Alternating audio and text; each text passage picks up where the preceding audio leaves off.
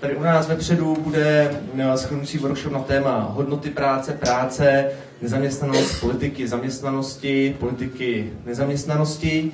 A vzadu asi bude eh, schrnující workshop k tomu poslednímu pondělku. Já jsem tady nebyl, takže to byla... Romové. Romové, jo?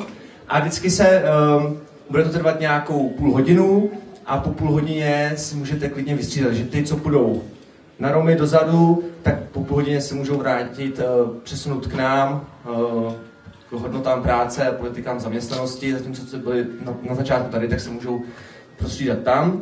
A na konci, po té hodině, cca hodině, uh, si potom můžeme v jednom kolečku, nebo ty moderátoři tady vystoupí s tím, k čemu vlastně se v rámci té deliberace toho našeho povídání v těch kolečkách dos, dospělo a jenom upozorňuji, že to bude hlavně na vytváření nějakých jako alternativ uh, spíše než na popis daného stavu věci, protože k tomu sloužily ty pondělní workshopy.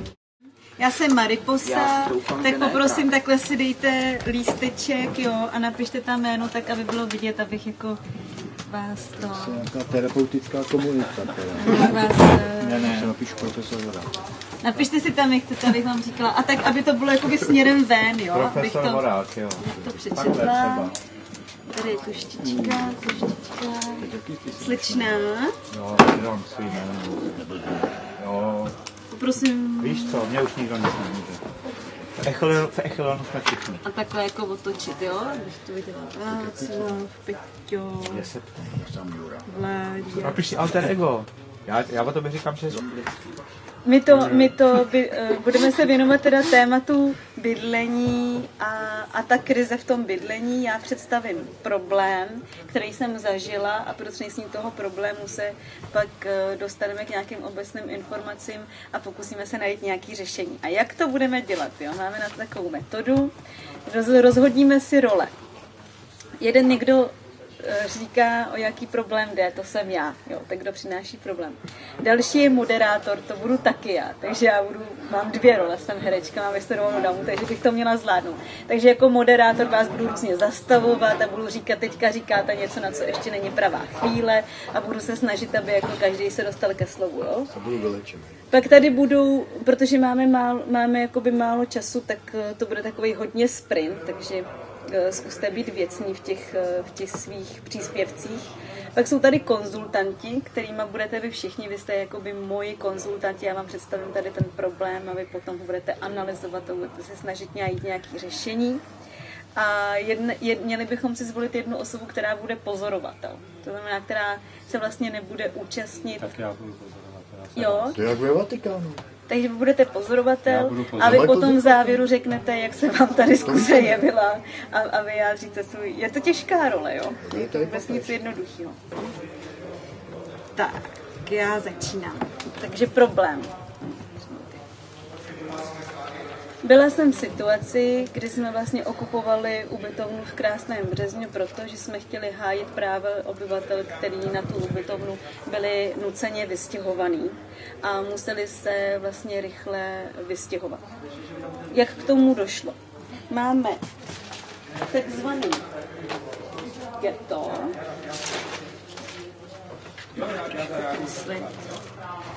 Proč ghetto, jo? Takhle je město a tady je nějaká část, kterou označujeme za to ghetto a ta je vlastně vyjmutá z jakýkoliv účasti města na té infrastruktuře. To znamená, že tady někdo uklízí, jo, tady nikdo jakoby není pověřený, nejsou zřízení žádný uklídový čety. Tady je rozvod internetu, tady žádný kabely, žádný sítě internetový nejsou, telefonní budky, tady nic takového nepotkáte. Jo. Vlastně ta, taková ta, ten poměr toho starání se ze strany města končí a, zač, končí a začíná vlastně za těma hranicema toho geta. Teď máme informace, že tam je zhruba nějakých 20 rodin, kteří žijou v takovýchhle podmínkách. Jedna z těch rodin byla upozorněná právě na to, že, nebo upozorněná, byla násilně vystěhovaná ze svého domu, protože tam jeden dům spadl a zavalil ženu, která zemřela, matka dvou dětí a město teda začalo jednat a začalo ten problém nějak řešit a to tím, že, že poslalo vlastně stavební úřad na jeden z těch domů a řeklo, vy se musíte okamžitě vystěhovat, je napadený dřevomorkou. Ty lidi ten den si museli spakovat věci, byli nucený odstěhovat se do místní tělocvičny a všechno vybavení bytu, který si tam i za svý peníze nakoupili, tam museli nechat. Už ho nikdy nedostali. Z té tělocvičny, když tam byly 10 dní, město uvádí nehoráznou částku, za kterou to celé provedlo, tak se jim ozval, maj, tak se jim ozval zprostředkovatel bydlení a řekl, že ty rodiny jim někam odstěhuje. To bydlení, který jim našel, bylo bydlení na ubytovně v Krásném březnu, kde rodina se šesti dětma, čtyřma dětma, pěti dětma bydlela v jedné místnosti, na patře jedna, jedna voda, jedna, jedna sprcha, eh, ještě často nefunkční, už jako velice zanedbaná ubytovna, eh, štěnice přítomný a tam museli být vystěhovaný z té tělocvičny. A město přivez, eh, přijelo eh, týrákem, tam ty lidi nahnalo z jejich věcma a odvezli na tu ubytovnu. S tím, že to bude přechodný bydlení. Po dvou měsících se stalo, že e, to majitel ubytovny CPI neprodloužil tomu muži, který jim takhle to bydlení dohodil smlouvu.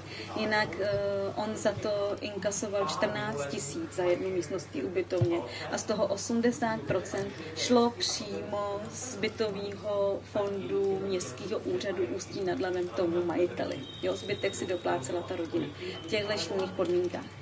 CPI neprodlu, jako majitel ubytovny neprodloužil smlouvu a ty lidi byli postaveni před situaci, kdy do 14 dnů se museli vystěhovat.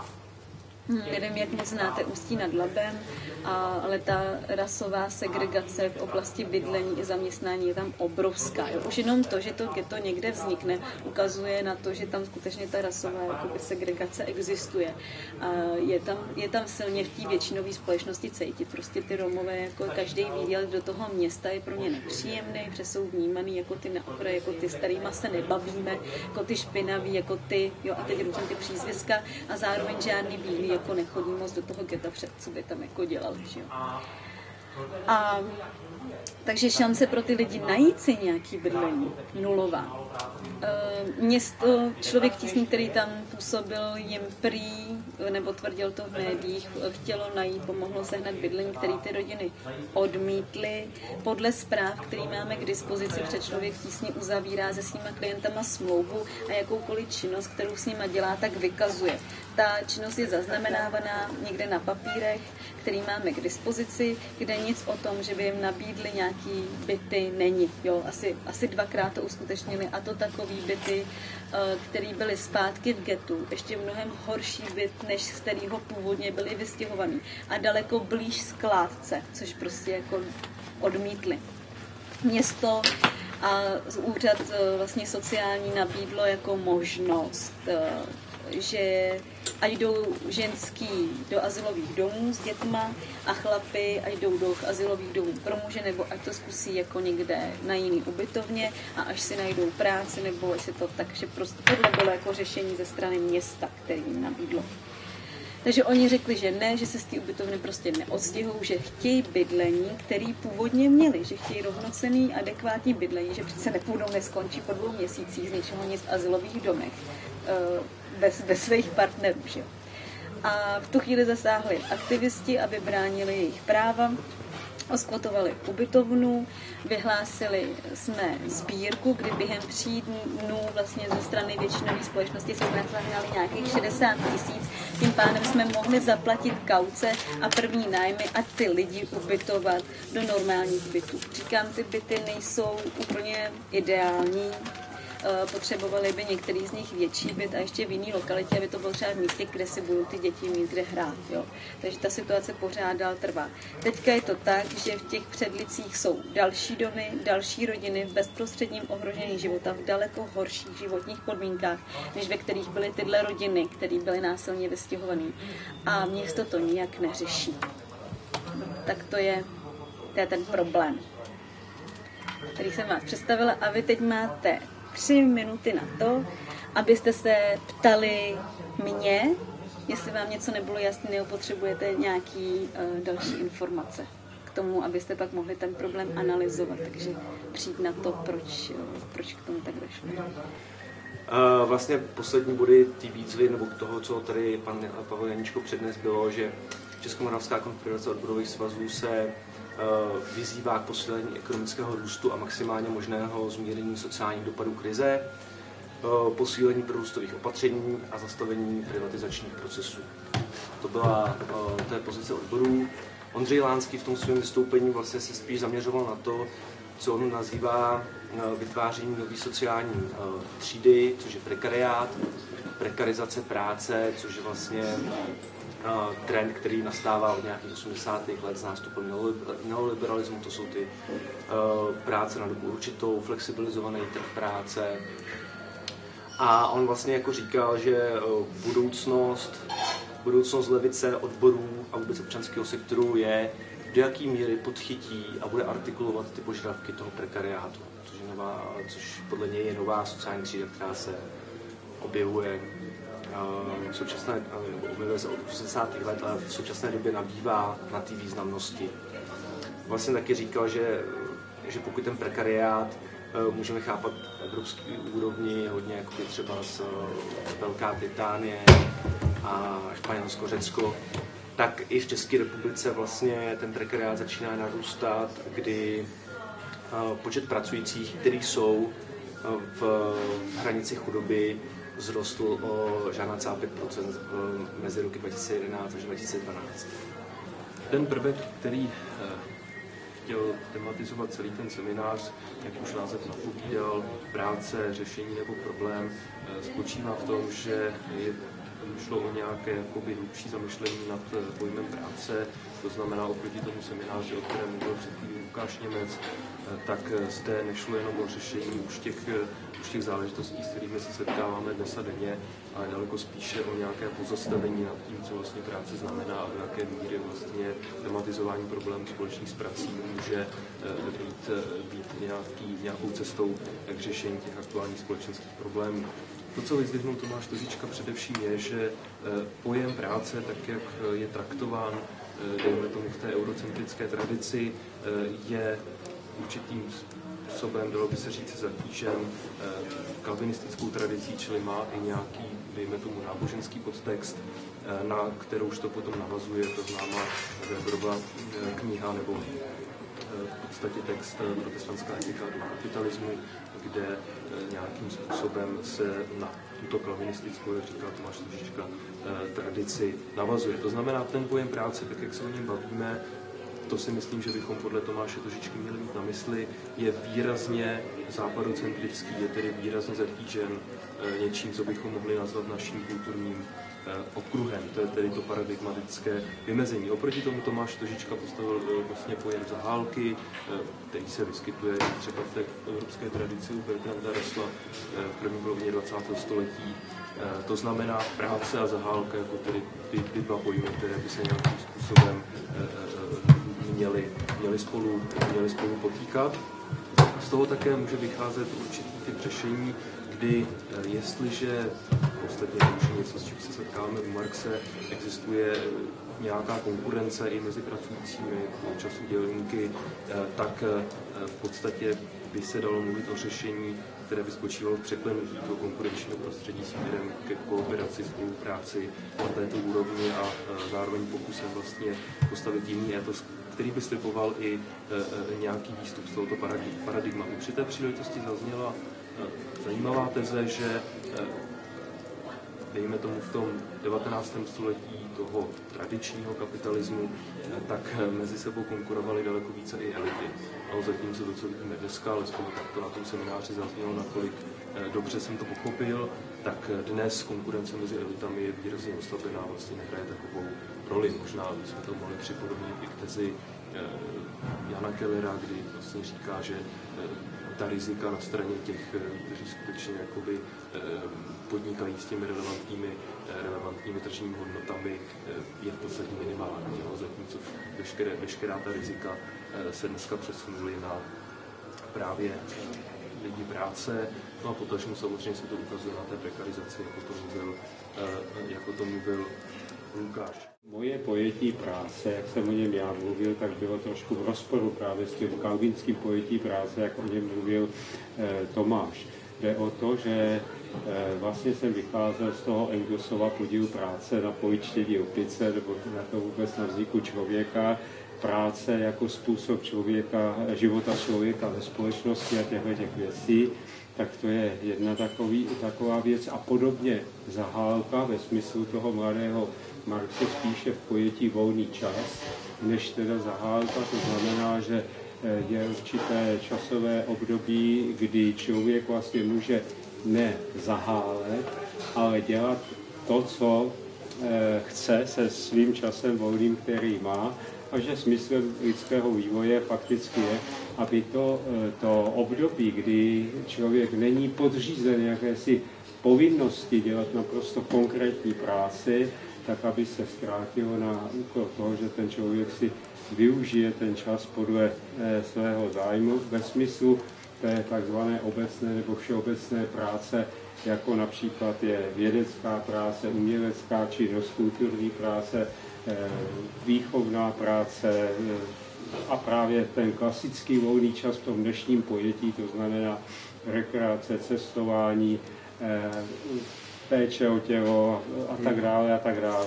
Máme v ústavě, že vlastnictví zavazuje, ale protože tady vládne ten kult zisku a kult soukromého vlastnictví, tak nemáme žádné zákony nižší právní síly, které by upravovaly povinnosti vlastníků. Vždycky vlastník je pán. Ale možná, že by šlo ta geta zaskvatovat a s pomocí právníků je sebrat těm majitelům prostě proto, moment, moment, ještě že vy už, vy už navrhujete řešení, tak jenom jestli byste s tomu to ještě jsme pořád u té analýzy, ještě máme minutku k té analýze, já se potom k ní vyjádřím a pak budete navrhovat řešení. Já vám vstupím do, do vaší analýzy, to není problém kapitalismu, to je problém eh, v druhom kole socializmu, protože Romovia sa dostali do problému po roku 48, pretože po roku 1948 sa zakázalo e, voľné podnikanie. To znamená, Rómovia, čo boli koritári, drotári, muzikanti, prišli o prácu, nesmeli podnikať, lebo to bolo čierne podnikanie. Nahnali ich, lebo nemali vzdelanie, nemali prax, nemali nič, tak ich naznali do podzemí stavieb za kopačov a 70. roky a 80. vrcholí. Takže keď nemali ani podzemné stavby prácu pre kopačov, tak za preživníctvo išli do kriminálu. To je odpověď na kapitalismus a socialismus. Tam je to samozřejmě laxnost státních orgánů, zejména místní zprávy, které si tím mají zaobírat a jakoby eh, těma klasickými postupama, které jsou jim sugerované, že musí používat, se toho řešení nedosáhne. Tam je potřeba hmm. zvolit nějakou alternativu, a pracovat s komunity, ale když tam zase řešili. Dobře, dobře, tak ještě, dobře, vydržte. Ještě někdo k té analýze, už ji budeme muset ukončit, protože nás zíme čas. Dobře, tak já, já bych řekl, že prostě ta zásadní příčina je vlastně v tom neoliberálním systému, protože prostě ta ekonomika volného trhu vlastně prostě plodí nezaměstnanost a bídu a vlastně tou nezaměstnaností jsou vždycky postižení buď to imigranti nebo prostě skupiny obyvatelstva, které jsou z nějakého historického důvodu nějak e, prostě znevýhodnění. Eh, čili to je ta jedna rovina a druhá rovina, která s tím souvisí, je vlastně eh, jakoby mediální diskus, který vlastně eh, prostě viní, z té bídy vlastně viní ty oběti té bídy, takže prostě z nezaměstnanosti viní nezaměstnané a tak dále. A tím dochází k tomu, že vlastně většina společnosti tak jakoby se o situaci vlastně třeba těch menšin buď to nezajímá, nebo přímo fandí tomu, aby se eh, no, chtějí, aby byli na tom co nejhůř prostě. Eh, no, čili tak to zhruba. Celá oblast Šupnovská, nezaměstnanost jak Romov, jak eh, majoritné spoločnosti, protože tým, že sa vysídlili Němci, tak sa tam naťahali z celého Československa ľudia a keď zanikli teraz e, fabriky a všetko sa zničilo, tak samozrejme tí ľudia nemajú prácu. To znamená, prvé kole je v republike aj slovenskej a českej odstrániť e, už u detí sociálne nerovnosti, pretože tie socky, tie chudobné deti sú už aj biele v tých školách. Čiže tak, jak to majú všetky vyspelejšie státy a dokonca aj bývalý sovětský sväz nebol až taký v tomto smere sprostý, zaviesť uniformy. To znamená zaviesť uniformy, máme prácu, máme šičky, pretože ešte posledné odevné závody, ktoré zanikli tam v Šutkovsku, čiže tí ľudia dostanú prácu.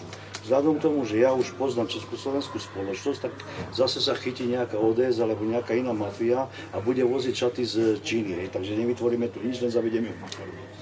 Další, pro, další vynikající... Tak moment, ještě uh, dáme prostor někomu dalšímu. Zkuste každý jedno řešení a když nás bude čas, protože čas nás tlačí, já vím, že to, tak uh, někdo další chce navrhnout řešení? No, uh, jestli, jestli teda můžu, tak já bych jako v principu souhlasil s tím, že jako v principu prostě ten, ten problém se dá vyřešit tím, že, že se těm lidem dá práce, že se stát třeba rozjede nějaký programy, které prostě poskytnou těm lidem práci a to je prostě základ toho řešení.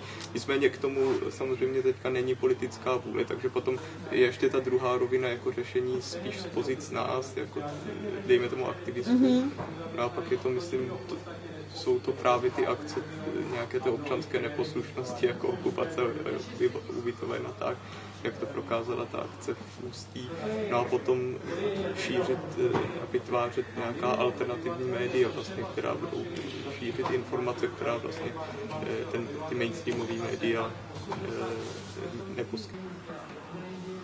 A chtělo by, aby jim pomohl nějaký právník, který právě na základě toho, že v ústavě máme, že vlastnictví zavazuje, dosáhne zrušení vlastnických práv těch vlastníků, kteří se o ty domy nestarají a jenom vysávají peníze z města a pak jim pomůže těm lidem založit.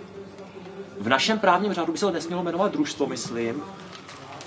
Muselo by to být něco, co by de facto fungovalo jako družstvo, ale musel by právník najít správnou právní definici, aby to družstvo fungovalo tak, že ty domy v tom getu jsou majetkem organizace, který nelze nijak rozdělit, nijak přišnout jednotlivým členům, takže na to například nemůžu exekutoři. A takhle, čili chce to právní ochranu společně vytvořit nějaký subjekt, který představuje nějaký dům nebo několik domů. Dobře, a tam se to se pomocí opravit, zapojit ještě ekoaktivisty, ostrovní zdroje energie, využití dešťové vody a tak podobně, protože budou problémy s napojením na sítě. Postoje majoritní společnosti vůči jakýkoliv eh, mu projevu občanské neposlušnosti nebo jinému takovému aktu okamžitě vši, všichni půjdou proti nám. Já si myslím, že se určitě dají najít jakoby legální cesty, jak ho udělat. A jedna z věcí, se souhlasím se vším, co tady bylo řečení, jedna z věcí, která mě hodně na tom uh, zajímá, je vlastně, že určitě by existovala možnost domluvit se s městem nebo nějakou obcí, která má k dispozici nějaký vybydlený domy, aby je dala k dispozici s tím, že se založí družstvo třeba i s podílem města, který by mělo jakoby furt možnost nějakým způsobem, uh, aby mělo jistotu, že s tím majetkem uh, se nic nestane, že by mělo podíl na tom řízení. Uh, spolumajitele by byli ty osadníci, když to tak nazvu. Uh, zároveň by se vytvořil nějaký způsob komunitního spolupodnikání, můžou se udělat nějaké zahrady, může se vytvořit nějaké sociální podnikání. Hlavně ty lidi je potřeba to naučit, naučit se, aby se nebáli se o sebe postarat, naučit se uh, vytvořit je, já nevím, třeba nějaký komunitní vzdělávací programy. Uh, já si myslím, že, že naučit ty lidi samostatně žít a postarat se sami o sebe. To znamená jakoby dát jim ten původní impuls, dát jim tu energii, tu informaci a potom to třeba jenom nějak pomáhat, udržovat, supervizovat a, a něco s tím jakoby takového dělat, aby ty lidi eh, jakoby vzali tu odpovědnost sami za sebe, za ten svůj život. Aby pochopili, že tu možnost prostě mají a potom už to půjde, potom už to půjde samo. A teď jakoby na závěr tady toho našeho workshopu bychom měli schrnout, čemu jsme došli, či nedošli. Já doufám, že jsme mnoha věcem došli teda. Tak eh, já můžu začít tady u toho prvního workshopu, který se týkal eh, zaměstnanosti, politik zaměstnanosti, nezaměstnanosti. Eh, ta první skupina byla mnohem víc bouřlivější než ta druhá, ale přece jenom jsme se na určitý věci alespoň jakoby shodli v tom, že pojem práce by se měl chápat mnohem víc, mnoho vrstevněji, mnohem víc šíř, než to, že práce je pouhé zaměstnání. Jak, jak zdůraznila Linda, mnoho žen dneska pracuje, ale nepočítá se to za zaměstnání, tudíž není odměňováno. A tenhle ten vějíř by se měl rozšířit i do činností, které prostě dneska děláme dobrovolně, nebo za to není uh, dostatečně ohodnocená ta práce. A v této druhé skupině jsme, jsme, uh, jsme se do určitý míry shodli v tom, že je uh, tu nezaměstnanost třeba řešit nejenom skrze ministerstvo práce a sociálních věcí, protože jsme řešili nezaměstnanost, ale skončili jsme u vzdělání, u školství, u státní zprávy, u udržitelného bydlení a vlastně je vidět, že ta nezaměstnanost se nemůže řešit pouze tím, že budeme trestat nezaměstnané, ale že je mnohem víc důležitá ta kooperace mezi ministerstvama, mezi ministerstvama a občanskou společností, a mezi ministerstvem a občanskou společností a neziskovým sektorem. Já jenom ještě, když tak Lukášovi předám ještě slovo, jestli tomu něco nenecháme No, ne, povídej, ty máš to, no, no, no. Tak v podstatě většina uh, už byla řečena. Já bych se možná ještě pozastavil u toho, co na první slyšení nemusí znít úplně jednoznačně, a to je ono rozšiřování pojmů práce. Nebyla na tom úplně schoda, vlastně opřemeli se o ten seminář, který tady proběhl za účasti Tomáše Tožičky a Václava Exnera a Ondřeje Lanského, tak se tam mluvilo o dvou eh, základních postupech, jak vlastně pohlížet na eh, pojem práce v současnosti. Ten první postup byl eh, obohatit tu práci ještě o určitý pojem zahálky, nikoli tedy v nějakém pejorativním slova smyslu, ale prostě o činnost, která není honorována mzdou, ten druhý navrhovaný postup byl rozšířit eh, ten stávající pojem práce a začlenovat právě do toho činnosti, které už byly zmíněny eh, před řečníkem, eh, ať už se to týká mateřství, ať už se to týká celé řady dalších věcí. Myslím si, že to, čeho jsme se dotkli dneska, tak je, že z určitého hlediska může být politicky praktičtější, přidržet se spíše té strategie druhé, to znamená považovat za práci i činnosti, které doposavat za eh, pracovní považovány nebyly. S tím byla spojena jedna obava v tom eh, druhém eh, okruhu a sice, že by tímto do například rodinného prostředí by mohly být přizvány a zaváděny tržní principy. Kdyby se vlastně na mateřství a podobně začalo polížet jako na práci, tak s tím by mohlo souviset i to, že nakonec tyto vztahy by byly nahlíženy stejně jako jiné vztahy mezi zaměstnancem a zaměstnavatelem. Myslím si, že tuto obavu jsme se pokusili nějakým způsobem oslabit eh, tím, že naopak eh, ono rozšiřování práce by mělo vést k tomu, že na práci se nebude pohlížet jenom eh, těma ekonomickými očima, ale daleko více se bude považovat za nějakou činnost, která ostatně odlišuje člověka v rámci tvorstva a která tedy je pro člověka charakteristická a Naopak neměla by se tedy práce zužovat na tento úzký, eh, na tento úzký pojem, na toto úzké vymezení. Tak to je asi tak eh, všechno eh, z toho schrnutí, co se z mojí, z mojí strany týče. Možná nakonec takovou glosu jenom ještě bych si dovolil. Už je to několik dekád, kdy Erich Fromm formuloval takovou docela líbivou tezi, která je jednoduše zapamatovatelná, že existují v knize Mít nebo Být, že existují dva základní mody existence nejen ve společnosti. Ten první je určitý modus vlastnický, kdy se zaměřujeme eh, na eh, vlastnictví a eh, spočívá tedy v tom věci mít a ten druhý modus spočívá v tom být. Myslím si, že to, o čem jsme se tady dneska bavili v souvislosti s prací, na kterou se dnes pohlíží právě jako na nabývání, nabývání statků, abychom mohli mít další statky, tak jsme se vlastně dostali k otázce, do jaké míry tento systém eh, otevírá pole také pro ten druhý modus, pro ten modus bytí, který nutně nemusí být svázán právě eh, s nabýváním statku. To je asi tak všechno. Tak um, já, já jsem se pokusila v obou dvou skupinách tu debatu strukturovat uh, metodou peer consulting a přestože se možná někteří setkali uh, se strukturalizací debaty takovýmto způsobem poprvé, tak v jedné skupině se setkala s velkým ohlasem, v té druhé už menší. Někteří si možná nepřipadali na debatu dostatečně připraveni a informování. Přesto si ji obě skupiny zhostily velice dobře a navrhovaná řešení situace bydlení eh, a segregace bydlení právě romské menšiny jsou takováto. Odstranit už u dětí sociální nerovnosti, tím, že se vyrobí uniformy, zároveň šití uniform bude pracovní příležitostí, takže máme šičky. Dá se lidem práce, stát rozjede programy. Aktivisti, občanská neposlušnost jako tlak, vytváření alternativních médií, spolupráce, eh, vytvoření vlastní společnosti, stát ve státě. Samozpráva, právní pomoc potřebují ty lidé založit fond, neziskové bytové družstva nebo nějaká forma bytového vlastnictví, na kterou nemohou exekutoři. Sebeorganizace ze zdola, solidarita. Bojkoty, okupace, squatting, obsazování domů a porušování zákonů.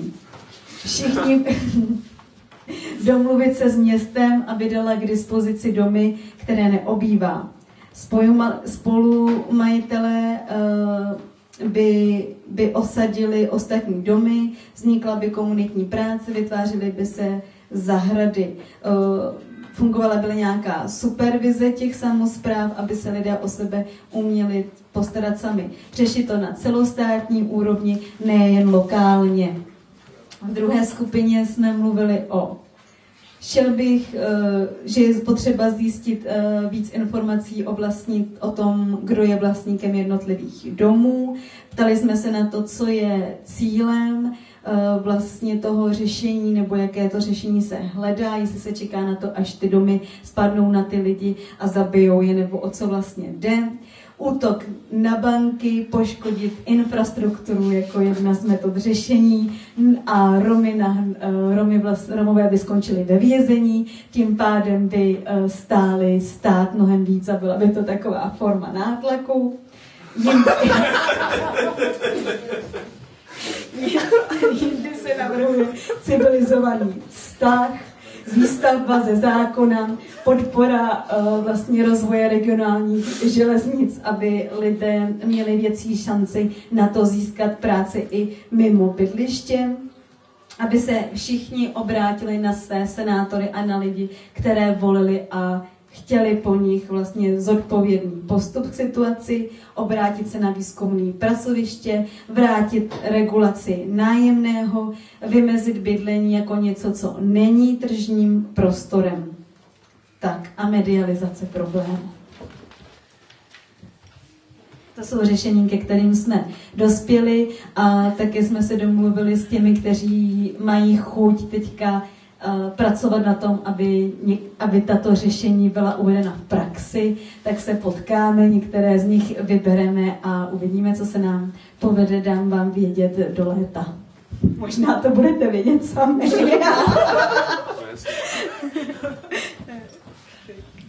Chtěla bych moc poděkovat organizátorům a i vám, že jste přišli na, na debatu. Já bych chtěl ještě jednou omluvit Ondřeje Lanského, který pro nemoc se nemohl zúčastnit a proto mě jsem vyslal.